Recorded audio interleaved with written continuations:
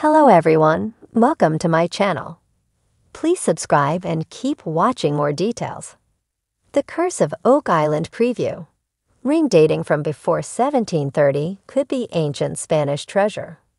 This week on The Curse of Oak Island, we can expect to see the guys continue with the heavy drilling that was started at the end of last week. With a massive oscillator in full operation and gunning for the treasure shaft. However, the episode previews are telling us that the focus this week will be on a number of brand new finds that are guaranteed to lift our excitement levels. In one clip, an ecstatic looking Gary Drayton shouts, We're back in business, as he high fives a delighted looking Rick Lagina. The guys often seem to be rushed this season, and this looks to be another episode that has them pressurized for time coupled with the promise of exciting new finds. Two weeks ago, they struggled to excavate a tunnel near Smith's Cove before legal requirements forced them to remove the cofferdam. And earlier in the season, they had to quickly batten down the hatches as Hurricane Dorian approached the island. This week, the guys are again rushing against the elements due to the onset of the harsh Canadian winter.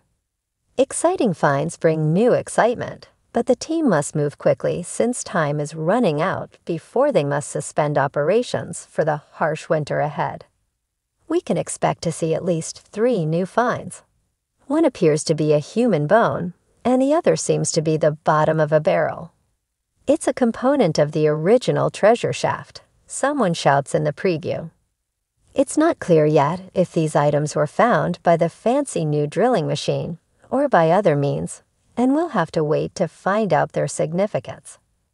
However, what does it matter having fancy drilling machines with giant oscillators when you have the legendary Gary Drayton on the team? The metal detectorist and Rick find an ancient looking ring in the ground. This is a sweet find mate, says Gary, to which Rick asks, Is that top pocket? Gary responds, This is a top pocket find mate. We're back in business. In one of the previews, we see the guys in the war room as an expert looks down on the team from a large monitor. And he's telling them it appears to have been chiseled prior to the 1730s. It's possibly Spanish. That is certainly old. Could this be the tip of some ancient Spanish treasure? We'll have to tune in to find out.